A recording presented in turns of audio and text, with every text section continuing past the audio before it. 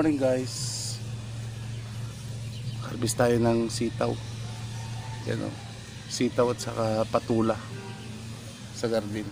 Yan.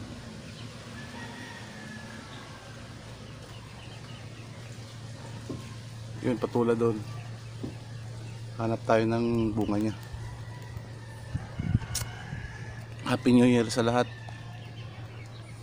Salamat pala sa mga subscribers ko.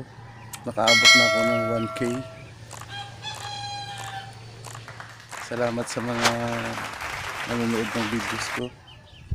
Yan.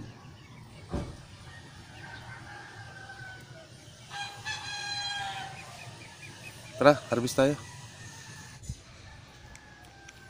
Walang bunga. Naku, naku, naku. Baka sana wala ata akong ulamin ngayon ah. Walang bunga.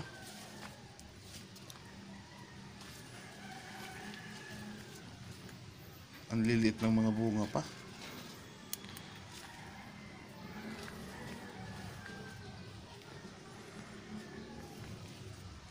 Yan oh. Walang kabunga-bunga. Walang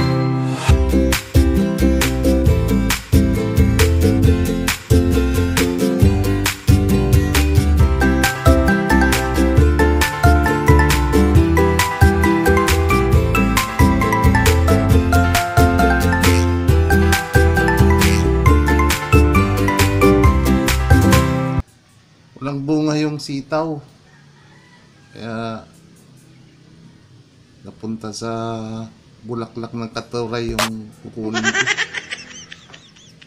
Naunahan ako ng pagbinta ng tatay. Actually guys, yung mga sitaw na yan, tanim tatay. Binibinta niya yan kasi mahal ang gulay ngayon eh maraming bumibili sa kanya dito sa village kaya go rin siya ng go hanggang kahit na maliliit na lang yung bunga niya binibinta pa rin tatay. Ay okay lang. Okay lang yan para makapera naman si tatay. Bayad sa pawis niya sa pagtanim ng gulay. Yan talaga pag farmer. Kung may tinanim, may aanihin. Yan ang sabi nila. Turay na lang kunin ko. Harap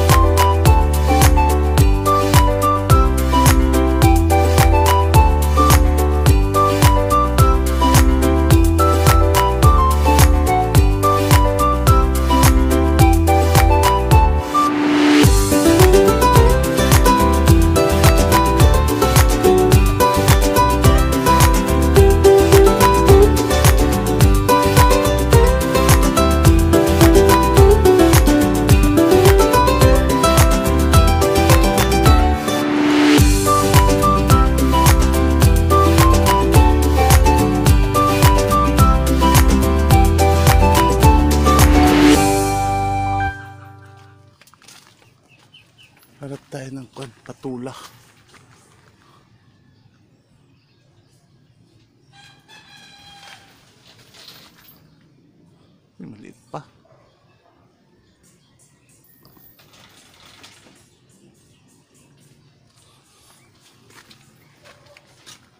May pato pa oh.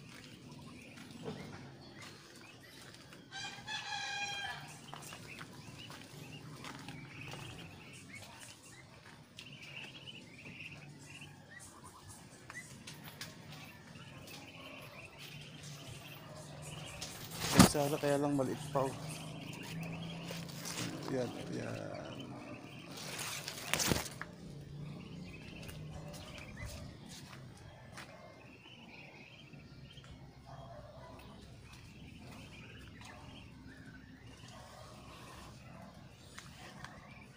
Yan, may pato pa. oh.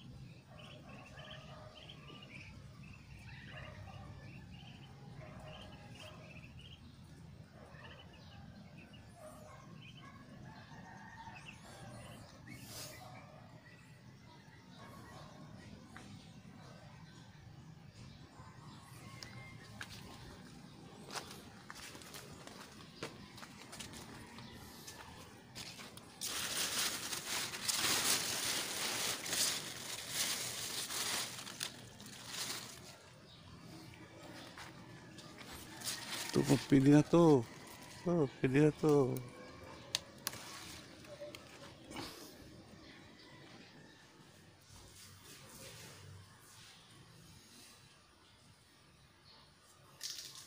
Linis tayo dito para ito.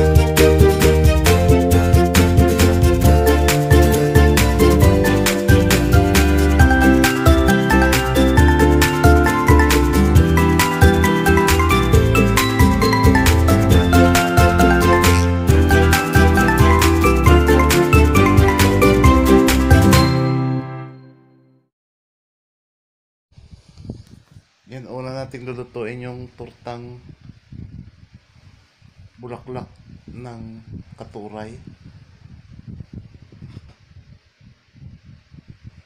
Please natin para maluto siya.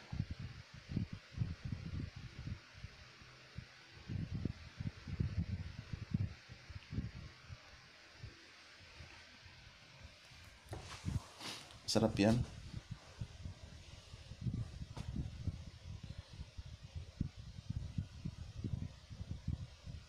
Lagyan ko yan guys ng paminta.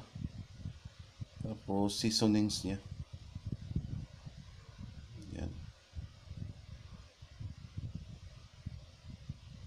Tsaka yung bawang kanina guys. Yun ang ilalagay ko sa toppings niya.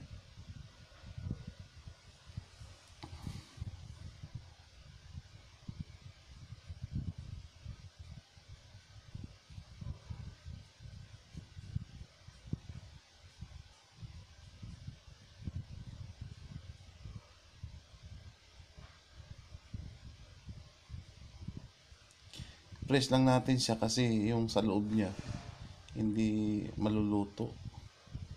Dapat na yung itlog na sa loob ng mga bulaklak ay maluluto. Kailangan natin siya i-press.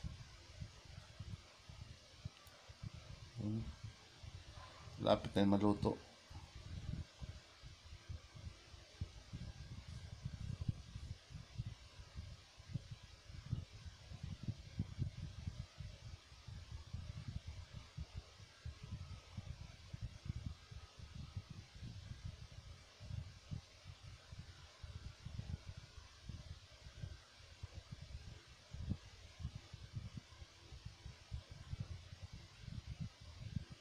Luto na siya.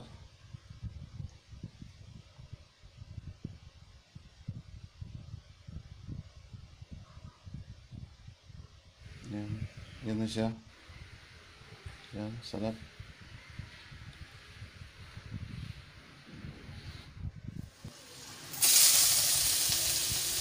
Igisa natin yung sitaw. Tapos ihalo natin yung mamaya yung patula at saka